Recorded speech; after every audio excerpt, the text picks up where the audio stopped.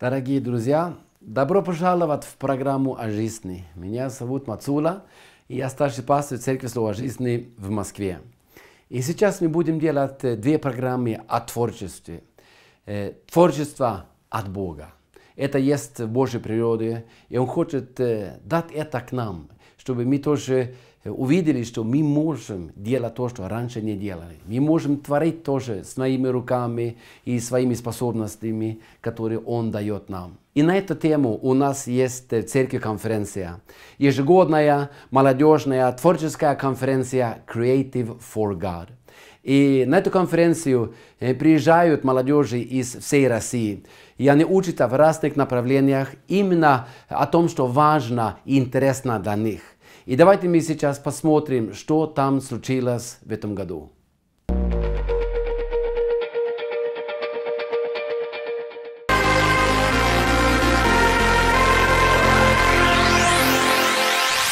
На несколько дней библейский центр «Слово жизни» стал эпицентром христианского творчества, собрав сотни ребят со всего русскоязычного мира.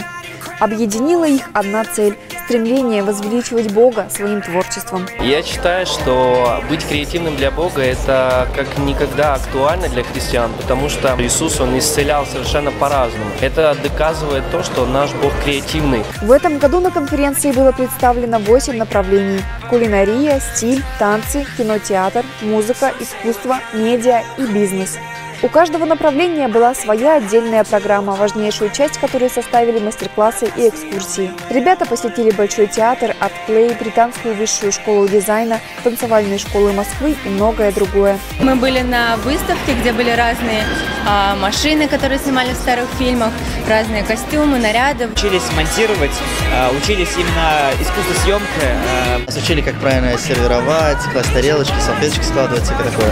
Обучали участников настоящие мастера мастера своего дела, достигшие больших успехов в различных видах творчества. Каждый день заканчивался богослужением с выступлениями артистов и ток-шоу. Самой важной их частью были, конечно, проповеди. Очень рады, что эта конференция получилась. Я очень рад, что все участники приехали сюда. Они все уставшие, вдохновленные. Я верю, что многие из них получили много-много-много для себя. Я верю, что эта конференция от Бога для того, чтобы открывать таланты. Следующая конференция будет в следующем году. Те, кто не смогли приехать, обязательно приезжайте.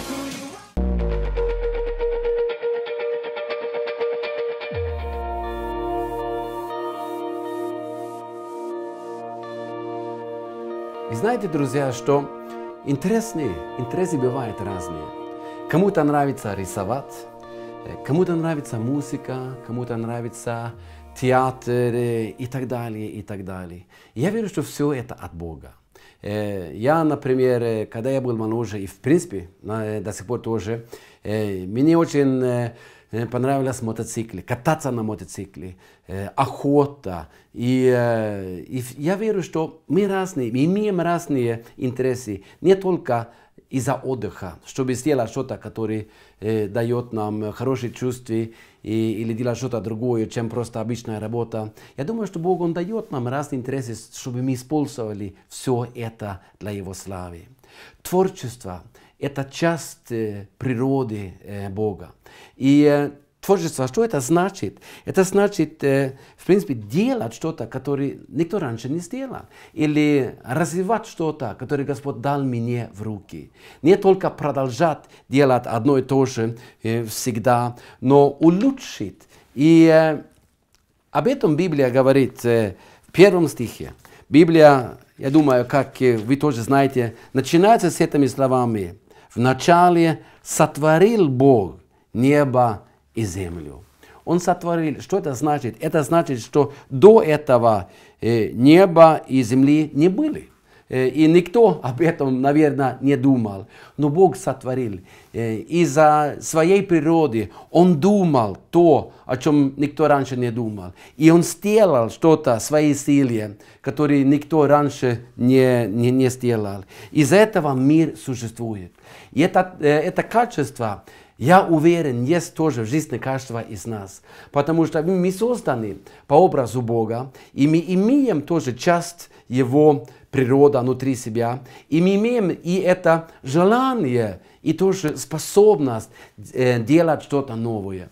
Э, я не знаю, какой интерес у тебя самый главный э, в жизни. Но я бы хотел ободрять тебя сегодня. Смотреть на свое сердце, смотреть на свою душу и думать, что мне интересно, что я бы хотел сделать.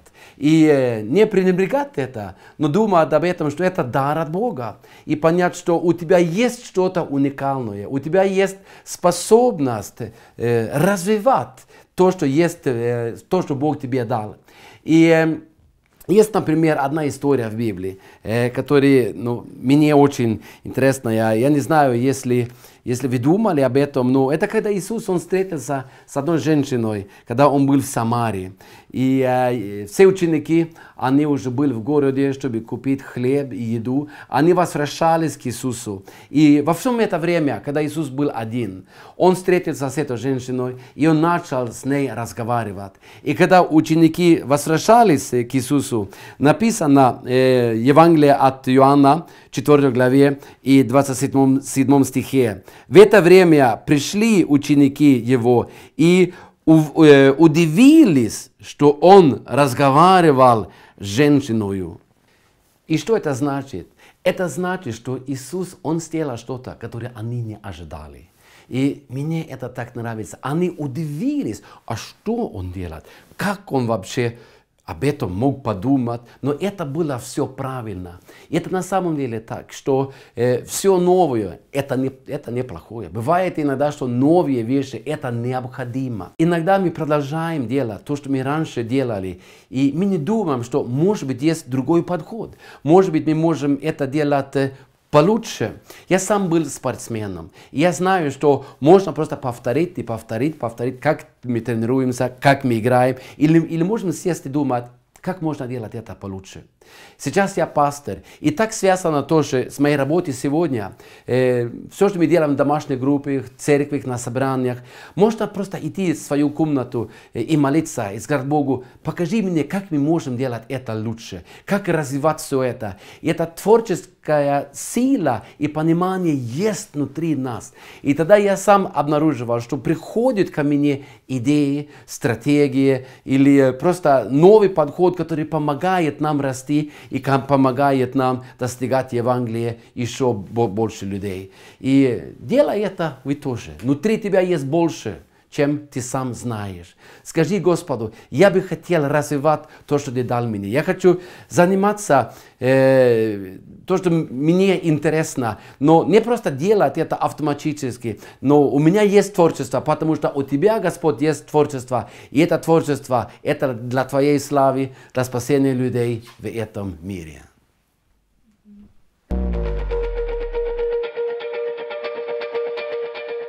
Конце я просто хочу сказать, не пренебрегай своим даром. Например, мне нравится кататься на мотоциклах. И я знаю, что я могу использовать это, чтобы связаться с другими мотоциклистами и делать что-то хорошее для Господа. Я знаю, что Бог призвал меня быть пастором, проповедовать Евангелие и заботиться о людях. И все это может расти в моей жизни.